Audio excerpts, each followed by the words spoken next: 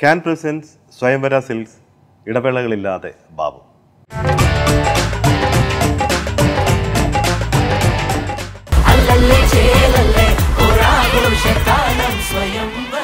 അപ്പോൾ എങ്ങനെയാ? ഇനി ആഘോഷിക്കല്ലേ? സ്വയംവര സിൽക്സ്. ചേഞ്ച് ആകൂ. വേറൊരു റേഞ്ച് ആകൂ. മൈജി മൈജി ഫ്യൂച്ചർ നായകവേഷം ചെയ്യാൻ അവസരമില്ലാഞ്ഞിട്ടല്ല. ശ്രമിക്കാഞ്ഞിട്ടാണ്. ശ്രമക്കുറവ് നല്ലോണം ഉണ്ട് പക്ഷേ പലപ്പോഴും നമ്മുടെ ആ പിന്നെ ഗ്യാപ്പുകളെല്ലാം ഫില്ല് ചെയ്തിരുന്ന ഒരു സംഭവം എന്ന് പറഞ്ഞാൽ ഇപ്പം എല്ലാ കാലത്തും എല്ലാ നടീ നടന്മാരും നേരിട്ടിരുന്ന പ്രശ്നം അവരവരുടെ സ്വന്തം ഭാഷയിൽ ഡബ് ചെയ്യുക എന്നുള്ളതാണ്. പക്ഷേ നമ്മുടെ പല തലമുതിർന്ന നായകന്മാർക്ക് വേണ്ടിയിട്ട് പറഞ്ഞാൽ വിനീത് നമ്മുടെ റഹ്മാൻ ബൈജു അല്ലേ അശോക് പോത്തൻ അങ്ങനെ നിരവധി പേർക്ക് ചേട്ടൻ ശബ്ദം കൊടുത്തിരുന്നു. ഈ ഇങ്ങനെ ഈ ഡബ്ബിംഗ് എന്ന് പറയുന്ന ഒരു വലിയ കലയാണ്. തീർച്ചയായിട്ടും. അതെങ്ങനെയാണ് അതിന്റെ ആ ഒരു വൈദ്യല്ല ശരിക്കും പറഞ്ഞാൽ അഭിനയത്തെക്കാൾ എനിക്ക് ടെൻഷനുള്ളത് ഡബ്ബിയാണ്. കാരണം അഭിനയിക്ക് ഇപ്പോൾ പ്രത്യേകിച്ച് സിങ് സൗണ്ട് ആയപ്പോൾ കുറേ കൂടി സൗകര്യങ്ങളുണ്ട്. സിങ് സൗണ്ട് വളരെ നല്ലതാണ്. പക്ഷെ പലപ്പോഴും സിങ് സൗണ്ട് ചെയ്താലും വീണ്ടും ചെയ്യേണ്ടി വരും. ടെക്നോളജിയുടെ അപര്യാപ്തത കാരണം നമ്മൾ ഈ ഔട്ട്ഡോറിൽ എന്തോ ശരിയാവുന്നില്ല. പല പടങ്ങളും നമ്മൾ ഇപ്പോൾ Kayamkulam Kochunni full sync sound ചെയ്തിട്ടും പല ഏരിയയും രണ്ടാമത് ഡബ് ചെയ്യേണ്ടി വന്നു. അങ്ങനെയാണ് പല പടങ്ങളും. പക്ഷേ ചില പടങ്ങൾ വെള്ളം ഒട്ടും സിങ് സൗണ്ട് രണ്ടാമത് ഡബ് ചെയ്യേണ്ടി വന്നില്ല. അപ്പം അങ്ങനെയുള്ള ചില അനുഭവങ്ങൾ. പക്ഷേ ഈ ആദ്യകാലങ്ങളിൽ ഈ ആർട്ടിസ്റ്റ് അഭിനയിക്കും അതേ ഭാവത്തോടുകൂടി പിന്നെ നമുക്കത് ക്രിയേറ്റ് ചെയ്യാന്ന് പറഞ്ഞാൽ പെട്ടെന്ന് വഴങ്ങുന്ന ഒരു സാധനമല്ല അത്. അത് ബൈ നമ്മുടെ എക്സ്പീരിയൻസ് ആണ് അതിൽ വരുന്നത്. ഇതെന്താണെന്ന് വെച്ചാൽ ഒരു തവണ പ്രിയേട്ടന്റെ പടത്തിൽ അഭിനയിക്കാൻ വേണ്ടി എന്നെ വിളിച്ചു. എനിക്കൊന്നു അരം പ്ലസ് ആരാണെന്ന് തോന്നുന്നത് ആ അതോ മൂന്നേട്ട സമയത്ത് വിളിക്കും ആ ഒരു പട സമയത്താണ് എന്നെ വിളിക്കുന്നു. മദ്രാസിൽ ചെല്ലുന്നു. പെട്ടെന്ന് ശ്രീനേട്ടനാണ് സ്ക്രിപ്റ്റ് അറിയാലോ? രാത്രിക്ക് രാത്രി സ്ക്രിപ്റ്റ് മാറി. എനിക്ക് വേഷമില്ലാണ്ടായി എനിക്കൊരു പ്രധാനപ്പെട്ട വേഷമായിരുന്നു അപ്പോൾ അതില്ലാണ്ടായി. അപ്പോൾ പ്രിയേട്ടന്റെ അടുത്ത് ചോദിച്ചു ഡാ എന്റെ ഒരു പടം നടക്കുന്നുണ്ട്. എനിക്കൊന്ന് ഡബ് ചെയ്യാമെന്ന് ചോദിച്ചു. ഞാൻ പറഞ്ഞു ഞാൻ അതുവരെ അങ്ങനെ പുറത്ത് ഡബ് ചെയ്തിട്ടില്ല. ഒരു പരീക്ഷണം നോക്കാം. ശരിയാവുമെന്നൊന്നും അറിയുന്നത് ശരിയായില്ലെങ്കിൽ മാറ്റിക്കട്ടെ പ്രിയേട്ടെന്ന് പറഞ്ഞു. അങ്ങനെ പോയി ഡബ് ചെയ്തു. ഒരു മുത്തശ്ശിക്കഥ കണ്ടാണ് ഡബ് ചെയ്തത് വിനീതന്. അപ്പോൾ ഞാൻ പറഞ്ഞു എനിക്ക് കുറച്ച് തൃശ്ശൂർ സ്ലാങ് വരും. അത് കുഴപ്പമില്ലാതെ നല്ലതാണെന്ന് പറഞ്ഞു. അങ്ങനെ അത് ചെയ്തു. പിന്നെ പിന്നെ പിന്നെ ഞാൻ നോക്കിയപ്പോൾ തിരക്കില്ലാത്ത പരിപാടി. കാരണം വെച്ചാൽ വെള്ളിയാഴ്ച ഇവിടുന്ന് ഞാൻ ഞാൻ കോളേജിൽ പഠിച്ചുകൊണ്ടിരിക്കുകയാണ് വെള്ളിയാഴ്ച ഇവിടുന്ന് കയറും മദ്രാസിൽ ശനി ഞായറും ഡബ്ബിയും ഞായറാഴ്ച തിരിച്ചു പോരും. തിരിച്ചിട്ട് കാശും കിട്ടും. അപ്പോൾ അടിച്ചു പൊളിക്കാൻ കാശ് പോയി. അതൊരു അങ്ങനെയാണ് ഞാൻ ഇത് തുടങ്ങിയത്. അപ്പോൾ പിന്നെ ചില പടങ്ങളിൽ ഫസ്റ്റ് എന്നെ ഒരു എക്സ്പീരിയൻസ് എന്ന് പറയുന്ന അരവിന്ദൻ സാറിന്റെ ഒരിടത്ത് എന്ന് പറഞ്ഞ പടത്തിൽ പിന്നെ ഇത് ഞാനാണ് കൊടുത്തത്. അപ്പോൾ അത് വേറൊരു തലമായിരുന്നു. കാരണം അരുന്നേട്ടൻ സംസാരിക്കുക എന്ന് പറഞ്ഞാൽ തന്നെ വളരെ കുറവാണ് അരുന്നേട്ടൻ നമ്മൾ ഡബ് ചെയ്യുമ്പോൾ നമ്മുടെ തൊട്ടടുത്ത് നിൽക്കുക. അങ്ങനെ നമ്മൾ പുള്ളി നന്നായി അങ്ങനെ കെട്ടിപ്പിടിച്ച് ഹഗ് ചെയ്യും. അതാണ് ഓക്കെ അങ്ങനത്തെ. ഒരു വല്ലാത്ത അനുഭവമായിരുന്നു എനിക്കത്. ഞാനപ്പോൾ അത് കുറച്ച് ദിവസങ്ങളെടുത്തിട്ടാണ് ചെയ്തത്. ഒറ്റ ദിവസം കുറച്ച് ചെയ്യുമ്പോഴേക്കും അരുന്നേട്ടൻ പറയും ഇന്ന് മതി ഇന്ന് മതി. സ്ട്രെയിൻ ചെയ്യണ്ടെന്ന് പറയും. അങ്ങനെ അങ്ങനെ ഡബ് ചെയ്തെടുത്താണ് ഒരിടത്ത് എന്ന് പറഞ്ഞ പടം. അങ്ങനെ കുറച്ച് പടങ്ങൾ ചെയ്തിട്ടുണ്ട്. അതുപോലെ പത്മനാഭ സാറിന്റെ കൂടെ നിന്ന് ഡബ്ബിയുള്ള ഭാഗ്യം ഉണ്ടായിട്ടുണ്ട് കേട്ടോ. കാരണം പപ്പയുടെ ഇടവേളയിൽ തന്നെ. ആ. കറി നമ്മുടെ പ്രേംപ്രകാശ് കറിയാച്ചനാണ് എന്റെ ചേട്ടന്റെ റോൾ ചെയ്തിട്ടുള്ളത്. അപ്പോൾ അദ്ദേഹത്തിന്റെ വോയിസ് കൊടുത്ത് പപ്പേണ്ണാണ് ഓ. ഒരു ഒന്നൊന്നര ശബ്ദമാണ് കേട്ടോ. ഒരു രക്ഷയില്ല. ഗന്ധർവ ആ പക്ഷെ നമ്മളൊക്കെ സത്യം പറഞ്ഞാൽ പണ്ട് ദാസേന്റെ കൂടെ ചിത്രയുടെ കഥ ഞാൻ പറഞ്ഞില്ലേ? ആ അവസ്ഥയാണ് എന്റെ. ശരിക്കും ഞാൻ എന്റെ മുട്ടിടിച്ച് പോയി. കാരണം എന്തൊരു ശബ്ദം എന്നറിയോ ആകാശവാണിയിൽ ഇങ്ങനെ പപ്പേന്റെ കൂടെ ഡബ് ചെയ്യാനുള്ള ഭാഗ്യം ഉണ്ടായിട്ടുണ്ട്. രവീന്ദ്രൻ ചേട്ടന്റെ കൂടെ ഡബ്ബിയാൻ ചെയ്യാൻ ഭാഗ്യം ഉണ്ടായിട്ടുണ്ട് നമ്മളെ കു- ആ, കുളത്തൂപ്പുഴ പണ്ട് ആ രവിചേട്ടൻ ഡബ്ബിങ് ആർട്ടിസ്റ്റ് ആയിരുന്നു രവിചേട്ടന്റെ കൂടെ ഞാൻ രണ്ട് പടം ഞാൻ ഡബ്ബ് ചെയ്തിട്ടുണ്ട്. അതൊക്കെയാണെന്ന് എനിക്ക് ഓർമ്മയില്ല. അങ്ങനെ ഒരു പ്രകല ഇപ്പം ജഗദീഷ് ചേട്ടൻ ഇടവേളയിൽ ഡബ് ചെയ്തിട്ടുണ്ട്. ആ. കുടിയേറ്റം കോവിച്ചേട്ടൻ ഡബ് ചെയ്തിട്ടുണ്ട്. കുടിയേറ്റം കോവിച്ചേട്ടനാണ് ഇടവേളയിൽ ഡബിങ് ചാർജ് ആയിരുന്നത് ശരിക്കും പറഞ്ഞാൽ അതിലൊരു അസിസ്റ്റന്റ് ഡയറക്ടറായിട്ട് മോഹൻ സാറിന്റെ കൂടെ ഗോവിച്ചേട്ടൻ വർക്ക് ചെയ്തു. ഡയറക്ഷൻ പഠിക്കാൻ വേണ്ടിയിട്ട്. അപ്പോൾ ഗോവിച്ചേട്ടനാണ് ഇടവേള മുഴുവൻ ഡബ് ചെയ്തിരിക്കുന്നത്. സ്വന്തം എന്റെ ഒന്ന് പൈസ അല്ല ഞാൻ പറയാം. അങ്ങനെ വളരെ പ്രഗത്ഭരുടെ കൂടെ പിന്നാമ്പുറങ്ങളിൽ വർക്ക് ചെയ്യാനും ഒരു ഭാഗ്യം കിട്ടിയിട്ടുണ്ട്. അത് പലർക്കും അറിയാറില്ല ഞാൻ പറയാറുമില്ല. ചിലരെന്റെ ശബ്ദം കേൾക്കുമ്പോൾ റിസംബ്ലൻസ് ചോദിച്ചിട്ട് എന്നെ വിളിച്ചു വയ്ക്കും ഏയ് നിന്റെ ശബ്ദമാണല്ലോ അതെന്ന് പറയും. റഹ്മാന്റെ നാലഞ്ച് പടം ചെയ്തു. പിന്നെ ചൊല്ലി കുറേ നാലഞ്ച് പടം ഞാൻ റഹ്മാൻ ചെയ്തിട്ടുണ്ട്. പിന്നെന്താ വെച്ചാൽ അപ്പോഴേക്കും കൃഷ്ണേന്ദ്രൻ സജീവായി ഡബിങ്ങിൽ മദ്രാസിൽ സജീവായി. അപ്പോൾ അതൊക്കെ ഞാൻ പതുക്കെ പതുക്കെ പിന്നോട്ട് പോയി. പിന്നെ മടിയായി. അത് അതുകൊണ്ട് അത് ഇപ്പോഴും എന്നെ ചില പടത്തിന് വിളിക്കാറൊക്കെ ഉണ്ട്. ഡബ് ചെയ്യാൻ പറ്റുമോ എന്ന് ചോദിക്കാറ്. ഇപ്പോഴും ഡബ്ബിംഗ് ആർട്ടിസ്റ്റ് യൂണിയനിൽ ഞാൻ മെമ്പറാണ് കേട്ടോ. അതെനിക്ക് വളരെ അഭിമാനമുള്ളതാണ്. അല്ലാതെ ഞാനൊരു ഇതായിട്ട് വെറുതെ ഭംഗിക്ക് ചേർന്നിട്ടില്ല. ഞാൻ ഒരു മീറ്റിങ്ങിനൊക്കെ പോകാറുണ്ട് ഡബ്ബിംഗ് ആർട്ടിസ്റ്റിന്റെ പ്രശ്നങ്ങളൊക്കെ ഉണ്ടാകുമ്പോൾ ശോഭിയാണ് ഇപ്പോൾ അവിടെ പ്രശ്നം. അതിന് ഭാഗ്യലക്ഷ്മി ആയിരുന്നു. എന്ത് പ്രശ്നങ്ങളുണ്ടെങ്കിലും ഞാനായിട്ട് ഷെയർ ചെയ്യാറുണ്ട്. ചെയ്തു കൊടുക്കാവുന്നൊക്കെ ചെയ്തു കൊടുക്കാറുണ്ട്. ആത്മയുടെ പ്രസിഡന്റായിട്ടിരിക്കാനുള്ള ഭാഗ്യമുണ്ടായി. അത് ഗണേശൻ മിനിസ്റ്റർ ആയ സമയത്ത് എന്നോട് പോലും ചോദിക്കാതെ പുള്ളി എന്റെ പേര് അനൗൺസ് ചെയ്തു. അല്ല ഞാൻ അതിൽ അതിലേക്ക് വരുന്നതിന് മുമ്പായിട്ട് ചേട്ടന് വേണ്ടി ഒരു വളരെ ചേട്ടന്റെ വളരെ ആരാധകനായ ഒരു ഒരാൾ നമ്മുടെ അവിടെ പോകുന്നുണ്ട്. ആയി ബാബു ചേട്ടാ. ബാബു ചേട്ടന്റെ പേര് ഇടവേള ബാബു എന്നാണെങ്കിലും എന്റെ ജീവിതത്തിൽ ഞാൻ ബാബു ചേട്ടനെ കണ്ടത് ഇടവേളകൾ എടുക്കാത്ത ബാബു ചേട്ടനാണ്. ഒരു വർക്ക് തുടങ്ങിയാൽ അല്ലെങ്കിൽ ഒരു പ്രൊജക്റ്റ് എടുത്തു തുടങ്ങിയാൽ പിന്നെ ബാബു ചേട്ടൻ ബാബു ചേട്ടന് മാറി ഡെഡിക്കേറ്റഡ് ആയിട്ടുള്ളൊരു ഒരു കലാകാരനെ ഞാൻ കണ്ടിട്ടില്ല. ബാബു ചേട്ടൻ എന്നെ സംബന്ധിച്ചിടത്തോളം ഒരു കലാകാരനാണ്. ഇവന്റ് ഓർഗനൈസിങ്ങും പിന്നെ ഡയറക്ഷനും ഒക്കെ ഉണ്ടെങ്കിലും യു ആർ എൻ ആർട്ടിസ്റ്റ് അല്ലെങ്കിൽ ഒരിക്കലും ആർട്ടിസ്റ്റിനെ എത്ര തിരിച്ചറിയാൻ പറ്റുന്ന വേറൊരു ഓർഗനൈസർ ഉണ്ടാവില്ല. എന്നെ സംബന്ധിച്ചിടത്തോളം നമുക്ക് കംഫർട്ടാണ് എപ്പോഴും ഞാൻ നോക്കുകയുള്ളൂ അത് എത്ര വലിയ വർക്കാണെങ്കിലും എത്ര ചെറിയ വർക്കാണെങ്കിലും കൂടെ വർക്ക് ചെയ്യുന്ന ഇവർ കംഫർട്ടബിൾ ആണെങ്കിൽ എനിക്ക് ഭയങ്കര സുഖമാണ്. എനിക്കും കുറേ ഇൻപുട്ട് എനിക്ക് ചെയ്യാൻ പറ്റും. ബാബു ചേട്ടന്റെ കൂടെ എനിക്ക് ജീവിതകാലം മുഴുവൻ വർക്ക് ചെയ്താൽ എനിക്ക് മടുക്കില്ല. കാരണം നമുക്ക് പ്രഷർ തരുന്നില്ല. പ്രഷർ മുഴുവൻ ബാബു ചേട്ടൻ എടുക്കും. എന്നിട്ട് എന്തേലും വന്നിട്ട് ഒരു ഒരു തമാശ രീതിയിൽ പറയും. അത് ചെയ്യാൻ പറ്റുമോ അത് ചെയ്യാൻ പറ്റുമോ. പിന്നെ ഞാൻ എപ്പോഴും കണ്ടിരിക്കുന്നത് നമ്മൾ കുറേ ഷൂട്ടുകൾ ഒരുമിച്ച് ചെയ്തിട്ടുണ്ട്. എപ്പോൾ അവിടെ വന്നാലും ബാബു ചേട്ടൻ അവിടെ ഉണ്ടാവും. എന്നാൽ പൂവാറായെന്ന് പറഞ്ഞാലും ബാബു ചേട്ടൻ അവിടെ ഉണ്ടാവും. എല്ലാവരും പോയി കഴിഞ്ഞാൽ ലാസ്റ്റ് പോകുന്നു. അതൊരു കമ്മിറ്റ്മെന്റാണ് അത് എനിക്ക് തോന്നുന്നു വളരെ റെയർ ആയിട്ടുള്ള ആൾക്കാരൊക്കെ ഉണ്ട്. എനിക്ക് പൊക്കി പറയാൻ ഞാൻ ചെയ്യാറില്ല. ഉള്ളത് ഞാൻ എന്റെ കണ്ണുകൊണ്ട് കണ്ടതും ഞാൻ അനുഭവിച്ചറിഞ്ഞ കാര്യങ്ങളാണ് ഞാൻ പറയുന്നത്. അപ്പോൾ I'm always proud of you Babu ചേട്ടാ. ബാബു ചേട്ടന്റെ മാതിരിയുള്ള ക്ലോണുകൾ ഉണ്ടാവട്ടെ ഇൻഡസ്ട്രിയിൽ. കാരണം പലപ്പോഴും ഞാൻ ആലോചിച്ചു ചില ചില വ്യക്തികൾ മാറിക്കഴിയുമ്പോഴാണ് അവരുടെ അഭാവം നമുക്കറിയുന്നത് അവരുടെ മിസ്സിങ് നമ്മൾ അറിയുന്നത്. അപ്പോൾ ബാബു ചേട്ടൻ ഒരിക്കലും എനിക്ക് മിസ്സാവാതിരിക്കട്ടെ എന്റെ എല്ലാ വർക്കുകളും എനിക്ക് ഒരുമിച്ച് നമുക്ക് ഒരുമിച്ച് ചെയ്യാൻ പറ്റുന്ന വർക്കുകൾ ഉണ്ടാവട്ടെ എന്ന് ഞാൻ ആഗ്രഹിക്കുന്നു. ഞാൻ അതുപോലെ തന്നെ ആശംസിക്കുന്നു വലിയ long run anyway God bless you keep going Babu ചേട്ടാ we are all with you I'm always with you love you സീഫന്റെ ഒരു ഞാൻ നേരത്തെ പറഞ്ഞില്ലേ എന്റെ കൂടെ വർക്ക് ചെയ്യുന്ന ടെക്നീഷ്യൻസിന് ഹൺഡ്രഡ് പേഴ്സന്റ് വിശ്വാസമുള്ളവരെ ഞാൻ വയ്ക്കുള്ളൂ.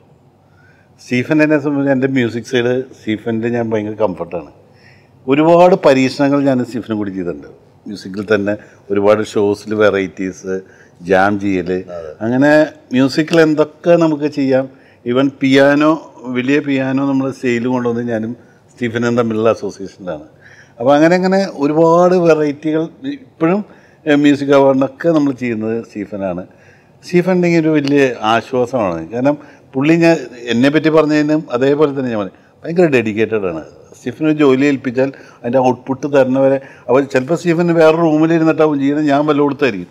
പക്ഷേ ഓരോന്ന് ചെയ്താലും സ്റ്റീഫൻ എന്നെ അയച്ചു തരും. എന്നിട്ട് അഭിപ്രായം പറയാൻ പറയും എന്തെങ്കിലും ചേഞ്ചസ് പറയാൻ പറയും. അപ്പോൾ ഞാൻ പറഞ്ഞു "ഇനി സ്റ്റീഫ അതിന് ഇത്ര ലെങ്ത്ത് വേണം. ആൾക്ക് സ്റ്റേജിൽ വന്ന് പാടാനുള്ള ലെങ്ത്ത് ഇടണം. അല്ലെങ്കിൽ അത് വേണം ഇത് വേണം. അപ്പോൾ എനിക്ക് മറ്റേ ഇത് ഷോർട്ട് കാണിക്കണം. എനിക്ക് ലൈറ്റ്സ് ഇങ്ങനെ വര വരേണ്ടതാണ്.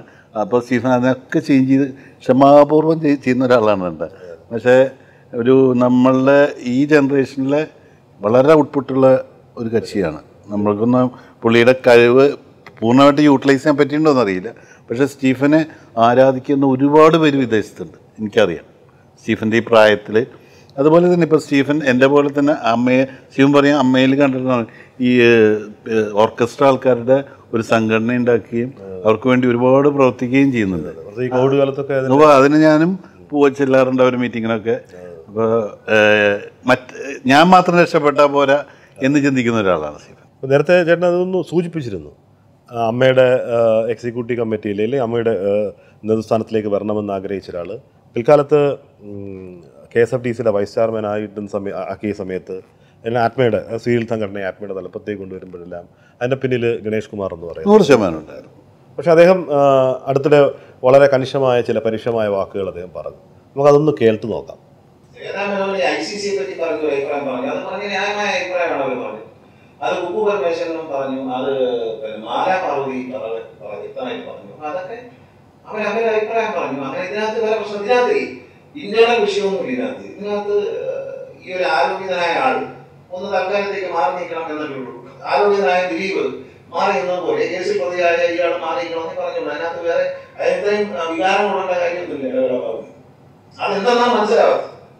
അവിടെയാണ് സംശയം ജനിപ്പിക്കുന്നത്.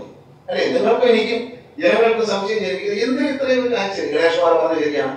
ക്ലബ്ബല്ല എന്ന് പറയുന്നുണ്ട്. അപ്പൊന്നുമല്ല ഞങ്ങൾ അയാളെ പ്രൊട്ടക്ട് ചെയ്തില്ല എന്തുകൊണ്ട് പറയുന്നത് ആ ചോദിച്ച ചോദ്യങ്ങൾക്കൊന്നും ഈ ഫേസ്ബുക്ക് ഹോസ്പിറ്റലില്ല നാളെ അത് ഇവിടെ ഞാൻ ബഹുമാനപ്പെട്ട പ്രസിഡന്റ് കത്ത് എഴുതുന്നുണ്ട്. ആ കത്തിൽ സ്പെസിഫിക്കായിട്ട് ചോദിക്കുന്നുണ്ട്. ഇങ്ങനെ വൈലോഗി തിരുത്തു വരുത്തുകയോ നിങ്ങളിങ്ങനെ ഒരു ക്ലബായി പ്രവർത്തിക്കാൻ തീരുമാനിക്കുകയും ചെയ്തു അങ്ങനെയാണെങ്കിൽ അമ്മ അസോസിയേഷനുള്ള മാറ്റി അമ്മ ക്ലബ് അമ്മ ക്ലബ് എന്ന് വിളിക്കാമല്ലോ. ഏ അങ്ങനെ വിളിക്കണം അപ്പൊ അത് മാറ്റിയിട്ടുണ്ടോ എന്നുള്ള കാര്യം നാമകരണം മാറ്റി നാമകരണം ചെയ്തിട്ടുണ്ടോ എന്ന് പ്രസിഡന്റിനോട് ചോദിക്കട്ടെ. അപ്പൊ അദ്ദേഹത്തിന്റെ മറുപടി വരുമ്പോൾ അങ്ങനെ ഇല്ലാന്ന് അദ്ദേഹം പറഞ്ഞാൽ പിന്നെ നമ്മളതിന് പറയണം ഉണ്ടെന്ന് പറഞ്ഞാൽ രാജിവെക്കും ഒരു പക്ഷേ ഈ ഇത്രയും ആത്മബന്ധം ഞാൻ വളരെ അറിയാം. ആ ആത്മബന്ധം ഉണ്ടായിരുന്നിട്ടും നിങ്ങൾക്കിടയിൽ നിങ്ങൾക്കിടയിലുണ്ടായൊരു ക്ലാഷ് എന്താണ് സംഭവം ശരിക്കും അടിസ്ഥാനപരമായിട്ട്? അത് ചിലപ്പോൾ ഒരു പൊളിറ്റിക്സ് പരമായിട്ടായിരിക്കാം. അല്ലെങ്കിൽ മറ്റെന്തെങ്കിലും ഗണേഷിനെ ഞാൻ മനസ്സിലാക്കിയെടുത്തോളം. ഗണേശന്റെ അടുത്ത് ആദ്യം ആര് എന്ത് ചെന്ന് പറയുന്നു? അതിന്റെ കൂടെ ഗണേശൻ ചിന്തിക്കും അത് ഇപ്പം ഗണേശനെ എന്നെ വിളിച്ച് ചോദിക്കാം. നല്ല സ്വാതന്ത്ര്യമുണ്ട് ഞങ്ങൾ അത്ര അടുപ്പാണ്. പല കാര്യങ്ങളിലും ഞങ്ങൾ ഉറച്ചു നിന്നിട്ടുള്ളവരാണ്. അപ്പോൾ പക്ഷേ ഈ ഒരു ഒന്ന് രണ്ട് കാര്യങ്ങളിൽ ഗണേശൻ എന്നെ വിളിച്ച് ചോദിക്കുന്നതിന് പകരം അത് മാധ്യമങ്ങളോട് പറഞ്ഞു എന്നുള്ളതാണ്. പ്രധാനപ്പെട്ട കാര്യങ്ങൾ ഒന്ന് അമ്മ ഒരു ക്ലബ്ബാണ് അത് വളരെ കാഷ്വൽ ആയിട്ട് വന്നു പോയ ഒരു- അതൊരു വാക്ക് ഉപയോഗിച്ചു. അതിന്റെ അർത്ഥം ഇത്രയേ ഉള്ളൂ. അപ്പം ഞാൻ നേരത്തെ പറഞ്ഞ കാര്യം തന്നെയാണ്. ഇത് ഭാവിയിൽ അങ്ങനെ എന്തെങ്കിലും മാറ്റം ചെയ്തില്ലെങ്കിൽ ഈ സംഘടന നിലനിൽക്കാൻ ബുദ്ധിമുട്ടാണ്. ഒരു നമ്മുടെ ചാരിറ്റബിൾ ഇൻസ്റ്റിറ്റ്യൂഷൻ എന്നുള്ളതിന് സർക്കാർപരമായിട്ട് നിയമപരമായിട്ട് ഒരുപാട് ലിമിറ്റേഷൻസ് കൊണ്ടുവരികയാണ്. അപ്പോൾ അതിനെക്കുറിച്ച് പഠിക്കുമ്പോഴാണ് അത് മനസ്സിലാവുക.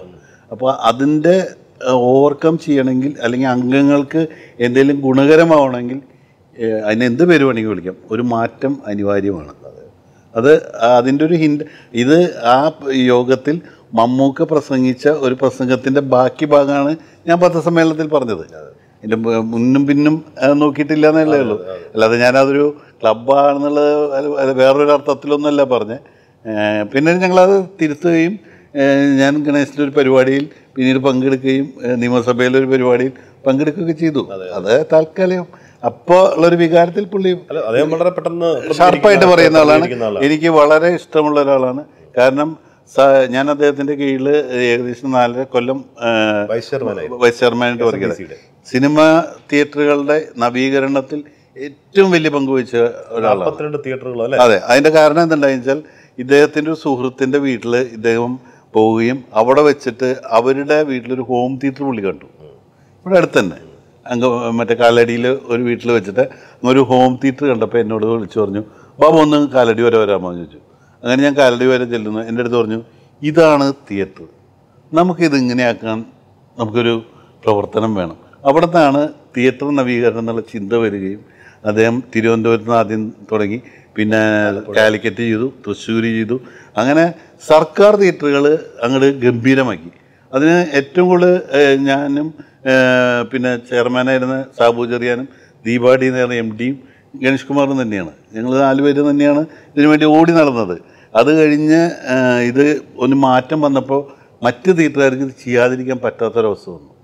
സർക്കാരുകൾ തിയേറ്ററുകൾ തന്നെ ഇങ്ങനെ നല്ല റിസൾട്ട് വന്നപ്പോൾ സ്വാഭാവികമായിട്ടും ബാക്കിയുള്ള തിയേറ്ററുകാരും അത് കേരളത്തിന്റെ സിനിമാ തിയേറ്ററിന്റെ ചരിത്രത്തിൽ വലിയ ഒരു വ്യതിയാനം അല്ല ഇ- ഇവിടെ ആ ക്ലബിന്റെ കാര്യം പറഞ്ഞപ്പോൾ തന്നെ ഐ സി സിയിലെ മറ്റേ ഒരു ഇന്റേണൽ കമ്മിറ്റിയുടെ ഒരു കാര്യം ഉണ്ടായിരുന്നു. ആ വിഷയം? അത് പേര് വിജയബാബുവിന്റെ വിജയ് ബാബുവിന്റെ വിഷയവുമായി ബന്ധപ്പെട്ടാണ്. അതെ അതെ. അതിനെ മാറ്റി നിർത്താത്തതിന്റെ പേരിൽ അതിനകത്തുണ്ടായിരുന്ന ചില ആളുകൾ രാജിവെച്ചു രാജിവെച്ചു പോയി. ആ വിഷയത്തിലും അദ്ദേഹത്തിന് കടുത്ത വിയോജിപ്പുണ്ടായിരുന്നു. അക്കാര്യത്തിൽ അല്ല അത് എന്താ ഇന്റേണലി പറയേണ്ട കാര്യങ്ങൾ ചിലർ പുറത്തു കയറി പറഞ്ഞു. അത് അവിടുത്തെ കൊണ്ട് തീരേണ്ട ചില പ്രശ്നങ്ങളായിരുന്നു. അത് അപ്പോഴേക്കും മാധ്യമ ചോർച്ച എന്ന അല്ലെങ്കിൽ ഇതിന്റെ ഇന്റേണൽ ചോർച്ച എന്നൊക്കെ പറയാം. അത്. പുറത്താവുകയും അതിനെ പ്രതികരിക്കുകയൊക്കെ ചെയ്തതാണ്. അതൊന്ന് അതിന്റെ ഒരു സമയം കിട്ടിയില്ല അത് സോർട്ട് ഔട്ട് ചെയ്യാനുള്ള സമയം കിട്ടിയില്ല എന്നുള്ളതാണ് സത്യം. കാരണം അതിനു മുമ്പ് ഇത് ഭയങ്കര രൂക്ഷമായി പോയി. അതാണ് ഉണ്ടായത്. ചില കാര്യങ്ങൾ ചാടി കയറി തീരുമാനം എടുക്കേണ്ടതല്ല. ഒരു ഇന്ന് തീരുമാനിക്കുന്ന കാര്യം നാളെ നമുക്ക് ആലോചിക്കുമ്പോൾ അത് ഇങ്ങനെയല്ല ചെയ്യേണ്ടത് ഇങ്ങനെ ആവാമായിരുന്നു എന്ന് തോന്നും. നമുക്ക് വികാ എന്ത് പ്രശ്നങ്ങളോ വികാരം കൊണ്ടിട്ട് കാര്യമില്ല. വികാരം ഒന്നിനും ശാശ്വതമായ പരിഹാരം കിട്ടില്ല. അത്തരം ഒരു പ്രശ്നം തന്നെയാണ് ഡബ്ല്യു സി സിയുടെയും പിറവിക്ക് കാരണം? തീർച്ചയായിട്ടും. ഡബ്ല്യു സി സി എന്ന് പറഞ്ഞാൽ അവരെ കൂടെ എല്ലാ കാര്യത്തിനും നമ്മൾ നിന്നവരല്ലേ? നമുക്ക് പരസ്യമായിട്ട് പ്രസ്താവന നടത്തിയതല്ലേ? നമ്മൾ ഡബ്ല്യു സി സിയുടെ എല്ലാ ശരിക്കും ഒരു നമ്മുടെ ഒരു രണ്ടാം വിഭാഗമായിട്ട് അല്ലെങ്കിൽ സ്ത്രീകൾക്ക് വേണ്ടിയിട്ടുള്ള അമ്മയുടെ ഒരു സംഘടനയായിട്ട് മാറേണ്ടതായി പക്ഷെ അവരാണ് അമ്മയുടെ ഏറ്റവും വലിയ വിമർശകർ എവിടെയോ വെച്ച് അവരും എതിർത്തു. പക്ഷേ എവിടെ എവിടത്തോളം എല്ലാവരും പോയി എന്നുള്ളത് മാത്രം ഒന്ന് തിരിഞ്ഞു നോക്കിയാൽ മതി. അല്ല എന്നാലും ചേട്ടന്റെ കാര്യത്തിൽ ഭയങ്കര വിഷം അല്ലെങ്കിൽ ഒരു അല്ല എന്താ പറയുക നമ്മുടെ കൂടെ നടന്ന നമ്മുടെ ഏറ്റവും നല്ല സുഹൃത്തുക്കൾ പെട്ടെന്നൊരു ദിവസം അപ്പുറത്ത് നിന്ന് നമ്മളുടെ എതിരെ പറയുമ്പോൾ നമുക്ക് വിഷമമില്ലാതിരിക്കുമോ പ്രത്യേകിച്ച് ഞാൻ ഭയങ്കര സെന്റിമെന്റലാണ് എന്നോട് ഏറ്റവും അടുത്ത് നിന്നവരാണ് ഇപ്പം അല്ല എല്ലാവരും.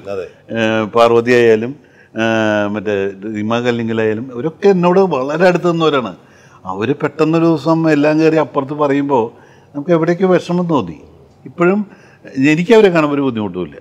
പാർവതി ആയിട്ട് എനിക്ക് ഭയങ്കര അടുപ്പമായിരുന്നു എനിക്കറിയാം. അവർ റെമ്യൂണറേഷന്റെ കാര്യത്തിലൊക്കെ എന്റെ അടുത്ത് അവർ ചോദിച്ചിരുന്ന പല കാര്യങ്ങളും.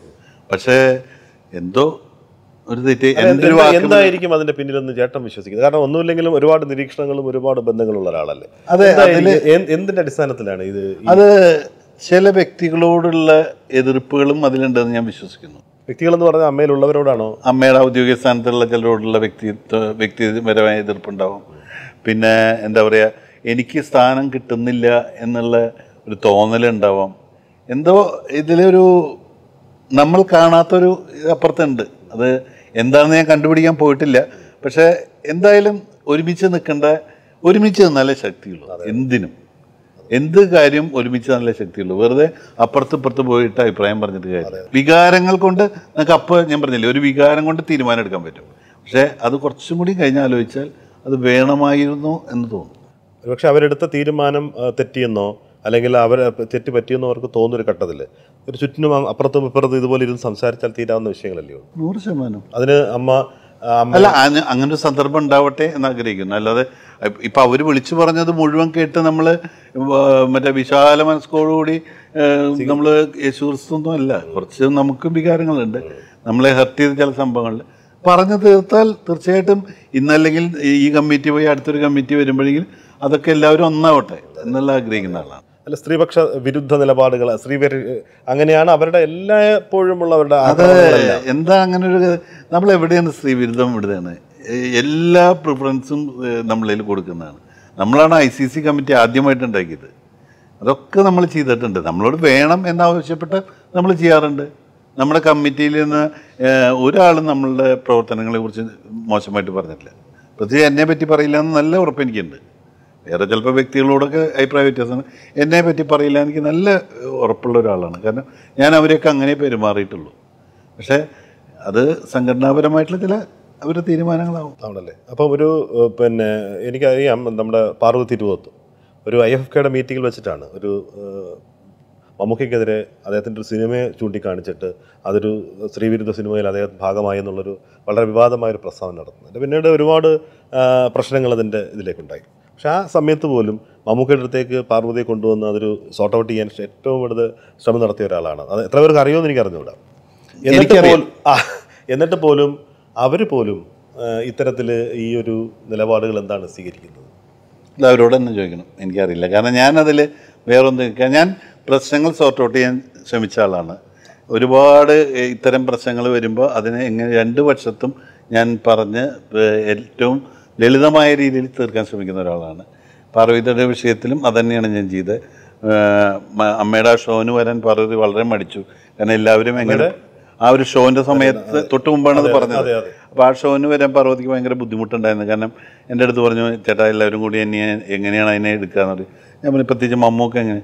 ഞാൻ മമ്മൂക്കോട് ചോദിച്ചു മമ്മൂക്ക എനിക്കൊരു പ്രശ്നമില്ല ഞാൻ എനിക്ക് എന്ത് വഴക്കെന്ന് അങ്ങനെ ഞാൻ കൊണ്ടുവന്നു മമ്മക്കായിട്ടിരുന്ന് സംസാരിച്ചു. അതൊക്കെ തീർത്ത് ആ ഷോ ഭംഗിയായിട്ട് ചെയ്തു. പിന്നെയും പിന്നെയും ഓരോരോ ഇതായിട്ട് അമ്മയ്ക്ക് എന്തൊരു കഷ്ടകാലം പിടിച്ച പോലെ. എന്ത് ചെയ്താലും കുറ്റം പറയും കുറേ ആൾക്കാർ ഇപ്പം എന്തോ കുറഞ്ഞൊന്നും എന്ന് ഞാൻ പറയുന്നില്ല. എന്തോ മാറ്റം വന്നിട്ടുണ്ട്. അതെ അതെ. അത് മാറുമായിരിക്കും. കാരണം കാഴ്ചപ്പാടുകളിലൊക്കെ വ്യത്യസ്ത അതെ അതിൽ എന്താ വെച്ചാൽ പലതും ഈ പറയുന്ന നമ്മളുടെ എഫർട്ടുകൾ കാണാതെ പോയി എന്നുള്ളതാണ്. പ്രധാനമായിട്ട് എനിക്ക് തോന്നിയിട്ടുള്ളത്. നമ്മൾ ചെയ്യുന്ന നല്ല കാര്യങ്ങൾ ഒന്നും പുറത്തു വരാതിരിക്കുകയും മോശം എന്ന് പറയുന്ന കാര്യങ്ങളെല്ലാം വിളിച്ചു പറയുകയും ചെയ്യുമ്പോൾ സ്വാഭാവികമായിട്ടും പൊതുജനങ്ങളുടെ ഇടയിലും അങ്ങനെ തെറ്റിദ്ധാരണകൾക്ക് അവസരം ഉണ്ടായിട്ടുണ്ടായിട്ടുണ്ട് പക്ഷേ നമ്മളെ ഇപ്പം നേരത്തെ ആരോ ഇതിൽ പറഞ്ഞിട്ടുണ്ട് ജാനി റോസൊക്കെ പറഞ്ഞ ഇതിൽ പറഞ്ഞിട്ടുണ്ടായിരുന്നു. നമ്മളുടെ സംഘടനയുടെ വില പുറത്തുള്ള അസോസിയേഷനാണ് ഇപ്പോൾ ചെന്നൈയിൽ പുതിയ യൂണിയനിൽ പുതിയ ആൾക്കാർ വന്നപ്പോൾ നമ്മുടെ ബൈലുമാണ് അവർ കൊണ്ടുപോയത്. നമ്മുടെ പ്രവർത്തന രീതിയാണ് അവർ കൊണ്ടുപോയത്. ഇപ്പോൾ ബാക്കി ഏത് ലാംഗ്വേജിലും എനിക്ക് ഒരുവിധം എല്ലാ ലാംഗ്വേജിലെ ഔദ്യോഗിക ഭാരവാഹികളായിട്ടും എനിക്ക് ബന്ധമുണ്ട്. ഇവരൊക്കെ ഫോളോ ചെയ്യുന്നത് അമ്മ എന്ത് ചെയ്യുന്നു എന്നുള്ളതാണ്. അപ്പം അതിനൊരു മോശമാണെങ്കിൽ അവരൊന്നും അത് ഫോളോ ചെയ്യില്ലല്ലോ. അപ്പം അതിൽ ഒരാ ഏതംഗം പറഞ്ഞാലും അതിന് ഫേസ് വാല്യൂ ഉണ്ട്. അപ്പോൾ എല്ലാവരും ഒരേപോലെ കൊണ്ടുനടക്കാൻ പറ്റുമോ? പിന്നെ ഞാൻ അയക്കുന്ന കത്തുകൾ വായിക്കുന്ന ഒരു അഞ്ച് ശതമാനം ആൾക്കാരെ ഉണ്ടെന്ന് ഞാൻ വിശ്വസിക്കുള്ളൂ നമ്മൾ മെനക്കെട്ടിരുന്ന എല്ലാ കാര്യങ്ങളും എഴുതി അതിൽ എന്നാലും അത് വായിച്ച് മനസ്സിലാക്കാതെ "ആ, ഒന്നും ചെയ്തില്ലല്ലോ എന്ന് ചോദിച്ചു പിന്നെ ഈ ജനറൽ ബോഡിയിൽ ഇങ്ങനെ പ്രസംഗിക്കുമ്പോഴാണ് മൗക പറഞ്ഞു ഇത് പ്രസംഗിക്കേണ്ട കാര്യമില്ല. പ്രസംഗിക്കുമ്പോഴാണ് പലരും അറിയുന്നത് ഇത്രയൊക്കെ കാര്യങ്ങൾ ചെയ്തു അല്ലേ എന്ന്. അപ്പം അതുകൊണ്ട് ആണ് അത് പറയേണ്ടി വരുന്നത്. ഒരുപാട് പേർക്ക് ഓണററി അംഗത്വം കൊടുത്തിട്ടുണ്ട്. ടി ജി രവിക്ക് രവിചേട്ടന് എന്തുകൊണ്ടാണ് അദ്ദേഹത്തിന് ഞാൻ രവിചേട്ടന്റെ അടുത്ത് രവിചേട്ടൻ എന്റെ നല്ല സുഹൃത്താണ് എന്റെ നാട്ടുകാരനല്ലേ. അപ്പോൾ എത്രയോ മകൻ മെമ്പറാ. അതെ. രവിചേട്ടൻ മെമ്പറായിട്ടില്ലേ. അതെന്താ വെച്ചാൽ എനിക്ക് തോന്നുന്നത് രവിചേട്ടൻ ഒരു ഘട്ടത്തിൽ സിനിമയിൽ സജീവമല്ലാതെ മാറിയിരുന്നു. ബിസിനസ്സൊക്കെ ആയിട്ട് മാറിയിരുന്നു. അപ്പോൾ പിന്നെ എന്തോ പുള്ളി വന്നില്ല. പിന്നെ ഞാൻ ചോദിച്ചപ്പോൾ അതെന്തോ നട മോനില്ലേ എന്ന് പറഞ്ഞു എന്റെ അടുത്ത്. പിന്നെ എന്താ അറിയില്ല. ഞാൻ ചോദിച്ചപ്പോഴാണ് ആ ചോദ്യത്തിന്റെ ഒരു ഇത് എനിക്ക് തോന്നിയത്. അല്ല അദ്ദേഹത്തിന് അടുത്ത തവണയെങ്കിലും നമ്മുടെ ഒരു ഓണറി അംഗത്വം കൊടുക്കാം അല്ല രവിചേട്ടന് പൈസ ഇല്ലാണ്ടൊന്നുമില്ല. അല്ലല്ല അങ്ങനല്ല. അത്തരത്തിൽ ആദരിക്കപ്പെടേണ്ട. കാരണം ഏറ്റവും സീനിയർ മോസ്റ്റ് അതായത് തീർച്ചയായിട്ടും കഴിഞ്ഞാൽ ഇപ്പൊ ഏറ്റവും സീനിയർ ഞാൻ രവിചേട്ടൻ നാടകം കണ്ടിട്ടുള്ള ആളാണ് അതെ. അപ്പൊ അത്തരം ഒരാളെ നമ്മൾ ഇങ്ങോട്ടല്ല അവിടെ പോയി അദ്ദേഹത്തിന് കൊടുക്കുന്നത് നമ്മൾ നൂറ് ശതമാനം അതിന് റെഡിയാണ്. ഞാൻ അതിപ്പോൾ നമ്മുടെ ഒരു എനിക്ക് ധൈര്യപൂർവം പറയാൻ നമ്മുടെ യോഗത്തിൽ ആരും എതിർക്കില്ല. അതെ അതെ. അപ്പോൾ അതൊരു നല്ല കാര്യം. ഇതിന്റെ ഒരു ഈ പ്ലാറ്റ്ഫോം അല്ലെങ്കിൽ അതിന്റെ ഒരു ഒരു ഒരു സൂചന ഉണ്ടായതിൽ നമുക്കും സന്തോഷമുണ്ട്. ഓക്കെ ഇനി ഈ അമ്മയുമായിട്ട് നമ്മൾ ആഗ്രഹിക്കുകയാണ് എല്ലാവരും. പുതിയ തലമുറ വരണം എന്ന് നൂറ് ശതമാനം. പേര് പറയും കാരണം എന്താണെന്നറിയോ സംഘടന നമുക്കല്ല ആവശ്യം. ഇപ്പം സജീവമായിട്ട് ആർക്കും ആവശ്യമില്ല. പ്രത്യേകിച്ച് മുൻനിരയിൽ നിൽക്കുന്ന നായക നിരയിൽ നിൽക്കുക ഒരാൾക്കും അമ്മയെ കൊണ്ട് ആവശ്യമില്ല. പക്ഷേ അമ്മയെ കൊണ്ട് ആവശ്യമുള്ള ഒരുപാട് പേരുണ്ട്. ഞാൻ എപ്പോഴും പറയും മമ്മൂക്കയ്ക്കോ ലാലേട്ടനോ എല്ലാം അമ്മ വേണ്ട? നമുക്കാണ് അവരെ വേണ്ടത്. നമ്മളെ ഒരുപാട് പേരുടെ ജീവിത മുന്നോട്ടത്തിനും പിന്നെ സംഘടനാ ശക്തി ഇവിടെ ഇപ്പം നല്ല സൗഹൃദത്തിലൊക്കെയാണ് പോണെങ്കിലും ഒരു കാലത്ത് പ്രൊഡ്യൂസർ അസോസിയേഷൻ ഭയങ്കര അമ്മ എന്നുള്ള പേര് നമ്മുടെ ഇതിലുണ്ടായിരുന്നില്ല എഗ്രിമെന്റിലുണ്ടായിരുന്നില്ല ആർട്ടിസ്റ്റും പ്രൊഡ്യൂസറും ഒപ്പിടുന്ന എഗ്രിമെന്റിൽ അമ്മ എന്നുള്ള പേര് വെക്കാൻ പറ്റില്ല എന്ന് തീരുമാനം അത് തിരുത്തി അമ്മയാണ് ഇപ്പോൾ ആർബിട്രറി ക്ലോസിൽ കൊണ്ടുവന്ന് വെച്ചു. അപ്പോൾ അത്രയും വരെ നമുക്ക് എത്തിക്കാൻ കഴിഞ്ഞു.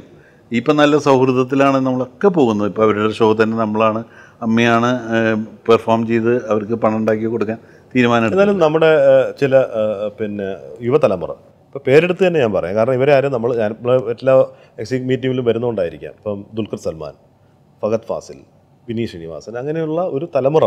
അത് ഏറ്റവും കൂടുതൽ ആക്റ്റീവ് ആവേണ്ട ഒരു തലമുറ. അവർ പലപ്പോഴും വരാറില്ല. പക്ഷെ ഒരുപക്ഷെ അവർ നിർബന്ധപൂർവം നമ്മൾ എത്തിക്കാൻ വേണ്ടിയിട്ട് അല്ലെങ്കിൽ അവരെത്തിപ്പെടേണ്ട ഒരു കാര്യമാണ്. കാരണം ഒരുപാട് പേർക്ക് ഈ പറഞ്ഞ പോലെ പ്രോത്സാഹനമാകാൻ ഇടയുള്ളവരാണ് അവർ കാരണം നമ്മൾ എന്ത് കാണിച്ചാലും ഈ പറഞ്ഞ പോലെ അവരെയാണ് അവർ മാറി നിൽക്കണമെന്ന് എനിക്ക് പറയാൻ പറ്റില്ല.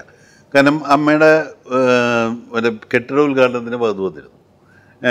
അമ്മയുടെ കഴിഞ്ഞ ഷോവിന് ദുൽഖർ വന്നിരുന്നു. ഈ പറഞ്ഞ എല്ലാവരും ഓരോ തരത്തിലും വരുന്നത് പിന്നെ പറയുമ്പോൾ ചേട്ടാ ഞാൻ മറ്റേ ഹിന്ദി പടത്തിലാണ് തെലുങ്ക് പടത്തിലാണ്. ശരിക്കും ഞാൻ ഇപ്പോൾ വിശ്വസിക്കുന്നത് മലയാളത്തിലെ പുതിയ തലമുറയിൽ ഫഹദ് ദുൽഖർ പൃഥ്വിരാജ് അവരൊക്കെ പാൻ ഇന്ത്യൻ ആർട്ടിസ്റ്റായി കഴിഞ്ഞു. അവർ മലയാളം ആർട്ടിസ്റ്റായിട്ട് കൂട്ടാൻ പറ്റില്ല. അവരുടെ ഒരു ഏരിയ വളരെ വലുതായി. അപ്പം നമ്മളും അങ്ങനെ നിർബന്ധ പക്ഷെ ഒരു കാര്യത്തിന് വിളിച്ച് എതിർപ്പൊന്നും അവർ പറയാറില്ല. പിന്നെ ഫഹദിനെ വിളിച്ച കിട്ടാറില്ല എന്നുള്ള സത്യം. അപ്പോൾ ചേട്ടനും കിട്ടാറില്ല. ഇല്ല എനിക്ക് കിട്ടാ. അപ്പോൾ കഴിഞ്ഞ ദിവസം ഫഹദിനെ ഒരു സ്ഥലത്ത് വെച്ച് കണ്ടപ്പോൾ ചേട്ടാ അപ്പം ഞാൻ പറഞ്ഞു വിളിച്ചിട്ട് അല്ല ചേട്ടൻ നമ്പർ പറയുന്ന നമ്മൾ ഇത് വാങ്ങിച്ചു വെച്ചിട്ട് എന്ത് കാര്യം? ഇനി അടുത്ത യോഗത്തിൽ കാണുമ്പോൾ വേറെ നമ്പർ ആയിരിക്കും. അപ്പോൾ അതൊക്കെ പിന്നെ ഇവരുടെയൊക്കെ ഒരു ആറ്റിറ്റ്യൂഡ് ആണ്. നിങ്ങളത് ഭംഗിയായിട്ട് കൊണ്ടുപോയി പിന്നെ ഞങ്ങളതിന്റെ ഉള്ളിൽ കയറി വരണേ എന്നുള്ള ആറ്റിറ്റ്യൂഡുള്ള കുറേ യുവതലമുറയുണ്ട്. അത് ശരിയല്ല എന്നാണ് എന്റെ പക്ഷം. അതിലവിടെ മാറ്റം വേണ്ട. അവരാണ് മുന്നോട്ട് വരേണ്ടത്. അവരാണ് അപ്പോൾ അവർ പറഞ്ഞാൽ അതിന്റെ സമയമായിട്ടില്ല നിങ്ങൾ കൊണ്ടുനടക്ക് എന്ന് പറയുന്ന ഒരു വലിയ വിഭാഗമുണ്ട്. അതിൽ മാറ്റം വരണമെന്നാണ് ഞാൻ ആഗ്രഹിക്കുന്നത്. പ്രത്യേകിച്ച് ഇവർക്കൊക്കെ നല്ല കപ്പാസിറ്റി ഉണ്ട്. കാരണം വെച്ചാൽ ഇപ്പോൾ ഈ അതർ ലാംഗ്വേജിലെ ആർട്ടിസ്റ്റായിട്ട് ബന്ധപ്പെടാനും ഇതിന്റെ ഒരു കാര്യങ്ങൾ നടത്തി കൊണ്ടുപോകാനും ഒക്കെ ഇവർക്ക് കപ്പാസിറ്റി ഉള്ളവരാണ്. അപ്പോൾ അവർ വരും വരും വിശ്വസിക്കുന്നു. അതെ അടുത്ത തവണ ഇവരെയൊക്കെ പിടിച്ചങ്ങ് പിന്നെ ഭാരവാഹികളാക്കി. ഭാരവാഹികളാക്കിയിട്ട് നമ്മളെല്ലാവരും മാറി നിൽക്കാൻ തയ്യാറാണ് അങ്ങനെ തലമുറ അമ്മ ഏറ്റെടുക്കണം.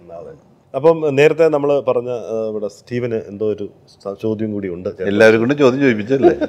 അവർ തന്നെ നിർബന്ധപൂർവം ചോദിച്ച കാര്യങ്ങളാണ്. പിന്നെ എനിക്ക് ഒരു ചോദ്യം എന്ന് വെച്ചാൽ എപ്പോഴും ഒരു സിനിമ ചെയ്യാം. കാരണം ഒരു ഡയറക്ടർ ലെവലിൽ ബാബു ചേട്ടൻ അതിന് മേലിലാണ് നിൽക്കുന്നത് അത് ഒരു സ്റ്റേജ് ഒരു ആറ് മണിക്കൂറിന്റെ സ്റ്റേജ് ഷോ ഈസി ആയിട്ട് ചെയ്യണമെന്നുണ്ടെങ്കിൽ രണ്ട് മണിക്കൂറിന്റെ ഒരു സിനിമ സുഖമായി ചെയ്യാമെന്ന് എനിക്ക് തോന്നുന്നത് കാരണം സിനിമ ചെയ്യുമ്പോൾ അതിന്റെതായ സമയമുണ്ട്. നമുക്ക് മൂന്ന് ദിവസത്തിന്റെ ഉള്ളിലാണ് നമ്മൾ ആറ് മണിക്കൂറിന്റെ കണ്ടന്റ് ഷൂട്ട് ചെയ്യുന്നത്. അപ്പോൾ ബാബു ചേട്ടന് ഈസി ആയിട്ട് ഒരു സിനിമ ചെയ്യാം. അപ്പോൾ എപ്പോൾ ചെയ്യും? എന്നെ എപ്പോൾ വിളിക്കും മ്യൂസിക്കിന് അല്ല സ്റ്റീഫൻ പലപ്പോഴും ചോദിക്കുന്ന ഒരു ചോദ്യമാണ് വീണ്ടും ഓർത്തിച്ചേക്കണേ ഞാൻ പറഞ്ഞില്ല സിനിമ ചെയ്യണം. ഞാനൊരു കഥ കണ്ടുപിടിച്ച് ഒരു നാല് നാലര കൊല്ലം മുമ്പ് എന്റെ കയ്യിൽ വന്നൊരു കഥയാണ്.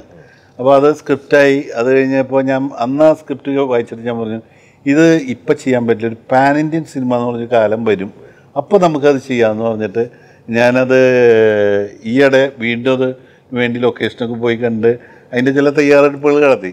പക്ഷേ അതിൽ എനിക്ക് ഇന്ത്യയിലെ പ്രധാനപ്പെട്ട ഒരു ആർട്ടിസ്റ്റ് വേണം. ഞാൻ അദ്ദേഹത്തായിട്ട് സിറ്റിങ്ങിരുന്നു എനിക്ക് മൂന്ന് ദിവസം മതി അദ്ദേഹം. ഓ. മൂന്ന് ദിവസം മതി. ഹിന്ദിയിലുള്ള നടനാണോ നമുക്കൊക്കെ അറിയാവുന്ന ആളാണ്. ഞാൻ പേര് പറഞ്ഞു കാരണം അതൊരു ഇരുന്നു. അത് കഴിഞ്ഞ് കഥയൊക്കെ കേട്ടു. പുള്ളി വാങ്ങുന്ന ഒരു റെമ്യൂണേഷൻ എടുത്ത് പറഞ്ഞു കാരണം അദ്ദേഹത്തിന് മൂന്ന് ദിവസം വേണ്ടു. പോസ്റ്ററിൽ തലവെക്കില്ലേ ചോദിച്ചു. ഞാൻ പറഞ്ഞു സുഖമായിട്ട് വെക്കുന്നു. അപ്പോൾ ഞാൻ കഴിഞ്ഞ പടത്തിന്റെ രൂപയാണ് വാങ്ങിച്ച് മൂന്ന് ദിവസത്തേക്ക് ബാബു എന്താണ് എനിക്ക് തരുന്നത്? ഞാൻ വേഗം കൈ കൊടുത്തിട്ട് പോകുന്നു കാരണം അദ്ദേഹത്തിനോട് റെമ്യൂണറേഷൻ പറയാൻ എനിക്ക് പറ്റില്ലായിരുന്നു. അത്രയും വലിയൊരു എമൗണ്ടാണ് അദ്ദേഹം ഇപ്പോൾ വാങ്ങിച്ചുകൊണ്ടിരിക്കുന്നത് പക്ഷെ അദ്ദേഹത്തിന്റെ അടുത്ത് പറഞ്ഞാൽ കഥ ചെയ്യണം കേട്ടോ എന്ന് പറഞ്ഞു. ശരി എന്ന് പറഞ്ഞിട്ട് പോകുന്നു ഞാനിപ്പോൾ ആ സ്ക്രിപ്റ്റ് പുള്ളിക്ക് മടക്കി കൊടുത്തിട്ട് വേറെ ആരെങ്കിലും ഉണ്ടെങ്കിൽ ഉടനെ ചെയ്തോളാം പറഞ്ഞു. ചെയ്യാം. വരട്ടെ. കാരണം ശരിയാണ്. പക്ഷേ അതിൽ ഞാനൊരു ഭാഗ്യം വിചാരിക്കാം ഇപ്പോൾ ഒരു സിനിമ ചെയ്താൽ ആ സിനിമയിലുള്ളവരോട് എനിക്ക് ആക്ഷനും കട്ടും പറയാൻ പറ്റുള്ളൂ. എനിക്ക് ഒരു ഷോ ചെയ്യുന്നത് കൊണ്ട് ഇനി ആരോ ആരോടൊക്കെ എനിക്ക് ആക്ഷൻ കട്ടും പറയാം ഇല്ലാത്തതെന്ന് മാത്രം നോക്കിയാൽ മതി.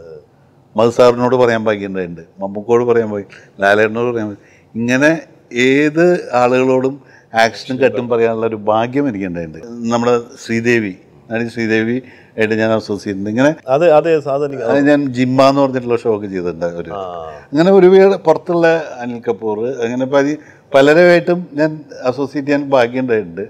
ഈവൻ സണ്ണി ദേവലിനെ നമ്മളാണ് ആദ്യം കൊണ്ടുവന്നത്. അങ്ങനെയുള്ള കുറേ ഷോകൾ ചെയ്യാനൊക്കെ ഇപ്പോൾ ശ്രേയ ഘോഷാലിന്റെ ഒരു ഷോ വളരെ മുമ്പേ ഞാൻ ചെയ്തിട്ടുണ്ട്. പിന്നെയാണ് ശ്രേയ ഘോഷാൽ ഇപ്പം നമ്മൾ അറിയുന്ന ശ്രേയ ഘോഷാലായത്. അപ്പോൾ ചിലരൊക്കെ നമ്മൾ കൊണ്ടുവരുമ്പോൾ ഇപ്പോൾ ഞാൻ ഒരു ഉദാഹരണം പറഞ്ഞുതരാം. ഞാൻ പണ്ട് ദുബായിലൊരു ഷോ ചെയ്തപ്പോൾ ജഗദീശേന്റെ ഒരു കണ്ടന്റ് ജഗദീശേട്ടൻ രണ്ടായിരം പടം കംപ്ലീറ്റ് ചെയ്തപ്പോൾ അത് വെച്ചിട്ട് ഞാൻ ഒരു കണ്ടന്റ് ഉണ്ടാക്കി ഷോ ചെയ്യാണ്. ആ സമയത്ത് അന്നത്തെ ഒരു ട്രെൻഡ് മ്യൂസിക് ഇന്നത്തെ ട്രെൻഡ് മ്യൂസിക്കായ അന്നത്തെ മ്യൂസിക് ഡയറക്ടർ ജാസ് ഗിഫ്റ്റ് ഞാൻ പറഞ്ഞു ആ ഗിഫ്റ്റ് ആ ഷോയിൽ ഞാൻ ഉൾപ്പെടുത്തി. അപ്പോൾ അവിടുത്തെ നടത്തിപ്പേരെന്റെ അടുത്ത് ചോദിച്ചു ഇതാരാണ്? ഇത് വല്ലവരും അറിയോ? എന്തിനാണ് നമ്മൾ കൊണ്ടുവരുന്നത് ഞാൻ പറഞ്ഞു ഇരുന്നോട്ടെ കുഴപ്പമില്ല എന്ന് പറഞ്ഞു. അപ്പോൾ ഞാൻ ഇതിലെ പാട്ട് ഞാൻ എനിക്ക് സാബു ചെറിയാന്റെ അതോ ഉണ്ണി ശിവപാലിനെ കണ്ട് എന്നെ കേൾപ്പിച്ചിട്ടുണ്ടായിരുന്നു. ലജ്ജാവതി എന്ന് പറഞ്ഞ പാട്ട് ആ സമയത്ത്. അപ്പോൾ എനിക്ക് തോന്നി ഇത് ഹിറ്റാവുമെന്ന് എനിക്ക് തോന്നി. അങ്ങനെ ഞാൻ ഈ ജാസിയെ ഏൽപ്പിച്ചു. ഷോ രണ്ട് മാസം കഴിഞ്ഞിട്ടാണ്. ഷോന്റെ സമയമായിരിക്കുമ്പോഴേക്കും ഈ പാട്ടങ്ങോട്ട് തരംഗമായി. ജാസി ഇരിക്കാൻ പറ്റുന്ന അവസ്ഥയായി. അപ്പോൾ അവിടുന്ന് എന്നെ വിളിച്ചു പറഞ്ഞു വേറെ ആരും വന്നില്ലെങ്കിലും ആ ജാസി ഗിഫ്റ്റിനെ കൊണ്ടുവരണ്ടേന്ന് പറഞ്ഞു. ഇവിടെയാണ് ഈ ജാസി ഗിഫ്റ്റിന് പിടിവലി. അപ്പം ഞാൻ പറഞ്ഞു ജാസി ഞാനാണ് ആദ്യം പറഞ്ഞത്. ജാസി പറഞ്ഞില്ല ചേട്ടാ ഞാൻ ഞാൻ ചേട്ടന്റെ കൂടെ വരലുള്ളത് അപ്പോൾ അങ്ങനെ പലരെയും ആദ്യം ഗൾഫിൽ കൊണ്ടുപോയി ഷോ ചെയ്യാൻ ഭാഗ്യം ഉണ്ടായിട്ടുണ്ട്. അതെ. അതുപോലെ ക്യാമറയ്ക്ക് മുറകിൽ നിന്ന് മുന്നിൽ നിന്നുകൊണ്ട് പിറകിൽ നിന്നുണ്ട് ക്യാമറയ്ക്ക് പിറകിൽ നിന്ന് ആക്ഷനും കട്ടും പറയാൻ എത്രയും പെട്ടെന്ന്. ആ പറഞ്ഞ താരം തന്നെ സിനിമയിൽ അഭിനയിക്കാനും ഇട നൽകട്ടെ ദൈവം പെട്ടെന്ന് എന്ന് മാത്രം ആഗ്രഹിക്കാം. എന്തായാലും ഞാനത് അതിനുവേണ്ടി ശ്രമിക്കും എന്ന് ഞാൻ പറയാം. അല്ലെങ്കിൽ ഉടനെ തന്നെ ഉണ്ടാവണം. നല്ലൊരു പ്രോജക്റ്റ് ഉണ്ടാവണം. എന്താണെന്നറിയോ പ്രൊഡ്യൂ എല്ലാവരും നല്ല പ്രൊഡ്യൂസർമാരാണ് എനിക്ക് അറിയാവുന്നവരാണ്. ഇപ്പോൾ ഒരെണ്ണം പ്രൊഡക്ഷൻ ചെയ്യുന്നതിന് ബുദ്ധിമുട്ടുണ്ട്. പക്ഷെ അവരെ നഷ്ടപ്പെടുത്തിക്കൊണ്ടൊരു സിനിമ ചെയ്യാൻ എനിക്ക് താല്പര്യമില്ല. അവർക്കും ഗുണം ഉണ്ടാവണം എനിക്കും ഗുണം ഉണ്ടാവും എന്റെ ഗുരുനാഥൻ പറഞ്ഞതാണ് മോഹൻ സാറ് പറഞ്ഞതാണ്. സാറിനോട് എന്താ പടം ചെയ്യാത്തതെന്ന് പറഞ്ഞപ്പോൾ സാറ് ചോദിച്ചു ഞാൻ പടം ചെയ്തിട്ട് ഒന്നുകിൽ പ്രൊഡ്യൂസർ വിഷമം അല്ലെങ്കിൽ ഞാൻ ഇപ്പോഴത്തെ അവസ്ഥയിൽ അത് ബുദ്ധിമുട്ടാണ് അതുകൊണ്ട് ഞാൻ പടം ചെയ്യില്ല.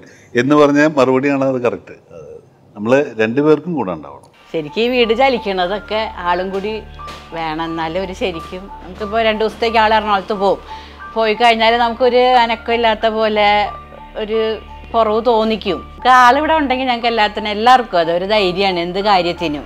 കല്യാണം കഴിച്ച് കാണണം എന്നൊരു വലിയ ആഗ്രഹമുണ്ട്. അപ്പോഴല്ലേ ശരിക്കും ഒരു കംപ്ലീറ്റ് ആവുള്ളൂ അല്ലേ ഞങ്ങളുടെ ഈ ഫാമിലി